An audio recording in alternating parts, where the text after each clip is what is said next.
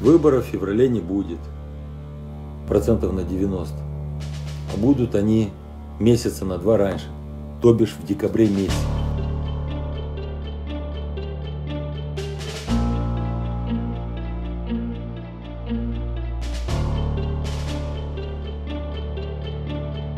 Правда, еще не принято решение окончательно.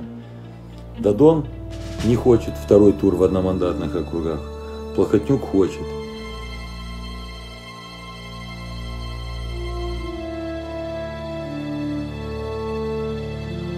Во имя спасения страны, ну, чудо в кавычках, и во имя спасения страны в кавычках, будет объявлена коалиция там, Демпартии с партией социалистов, понимаете? Там же ну, абсолютно, ну это все понятно.